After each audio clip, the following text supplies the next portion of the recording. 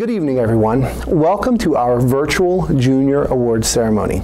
Tonight, we are going to honor the class of 2021 by recognizing students for their outstanding performances in a variety of areas.